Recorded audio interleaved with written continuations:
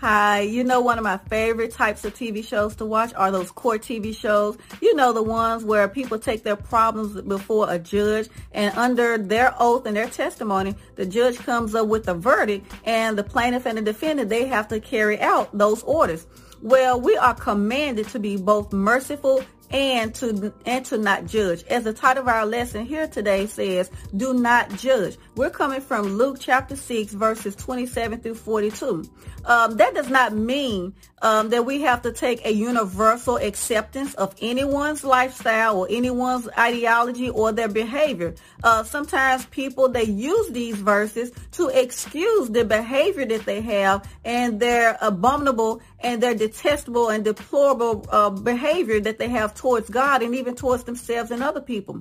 The Bible provides clear distinction on actions, behaviors, ideas that we should behave or stay away from. We are supposed to use uh, these verses to keep us from holding judgment over someone's head, uh, claiming a judgment over one mistake or one low point over their entire life. We also have to keep from uh, keep recalling and reminding a person of the faults that they've made, especially if God has forgiven them. Why can't we forgive them as well? So take the time this week to uh, consecrate ourselves and to ask God to show us how to be more understanding and not judge harsher than what God's mercy forgives.